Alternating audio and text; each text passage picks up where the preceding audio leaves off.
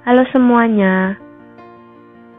Balik lagi di video part 2 Cinta Luna versus Keanu.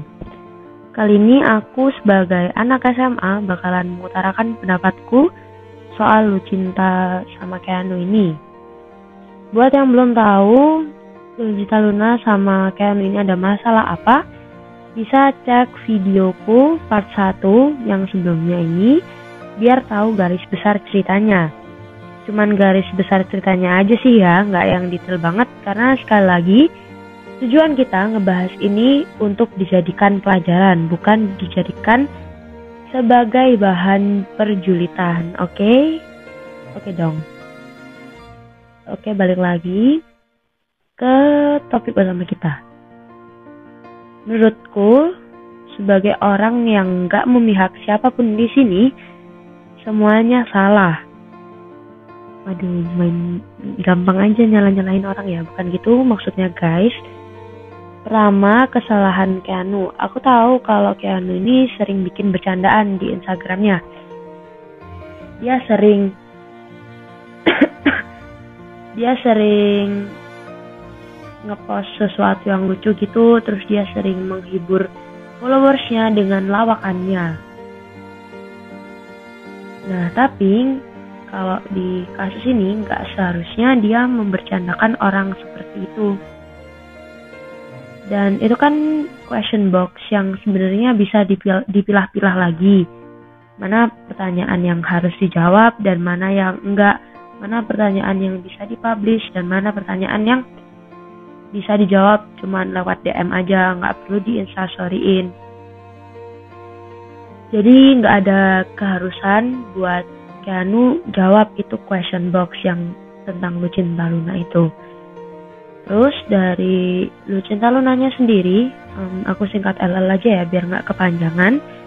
Si Lucinta Lunanya ini juga salah menyikapi candaannya si Keanu.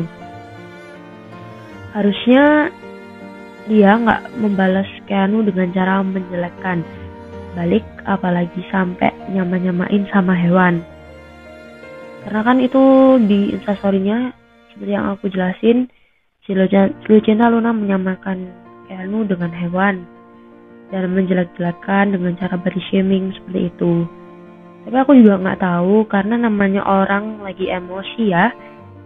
Jadi ya nggak bisa mikir dulu mana yang harusnya dilakuin mana yang enggak dan dia kan pasti kayak terbawa emosi terus akhirnya nggak bisa mikir jernih. Akhirnya semuanya dilakuin buat meluapkan rasa kesal itu tadi sama si Lucinta Luna. Maksudnya meluap Lucinta Luna ribet. Lucinta Luna meluapkan seluruh rasa kesalnya dengan segala cara. Tuh Terus buat temen-temennya Keanu juga sebenarnya gak perlu sampai yang segitunya. Aku tahu gimana rasanya temen baik kita dijelek-jelekin sama orang. Ya itu gak enak. Tapi menurut gue cara yang baik buat membela temen kita bukan dengan cara ikutan menjelek-jelekan karena sama aja dong. Kalau kita jelek-jelekin juga, ya udah apa bedanya kita sama Lucia Luna. Maksudnya kita di sini adalah Keanu dan temen-temennya. Ya kan sama aja gitu sama-sama jeleknya. Jadi sama-sama jeleknya uh, sama-sama ngejelekin. Intinya gitu. Oke intinya di kasus ini siapa yang salah? Ya semuanya. Jadi pelajaran buat kita sendiri atau aku sendiri kalau misalkan ada orang yang jelek-jelekin kita nggak usah dibalas sama jelek-jelekin balik. Soalnya itu nggak bakalan bikin masalah kita selesai Terus mungkin awal jelek-jelekin bakalan langsung emosi sih. Dan buat menyikapi emosi itu lebih baik kita diam dulu, kita kita meredakan emosi kita dulu biar gak langsung melakukan hal-hal yang daripada nanti kita nyesel di kemudian. Jadi lebih baik diam dulu terus kita akhirnya kan pikiran kita jernih akhirnya kita bisa memilih langkah dengan baik gitu apalagi buat seorang selebgram atau artis gitu ya tindakan sekecil apa pun, apa pun tuh bakalan disorot sama publik Jadi mau gak mau kita harus sangat berhati-hati. Dan karena kan sekecil apa pun perbuatan kita itu akan membawa efek yang sangat besar di kemudian harinya.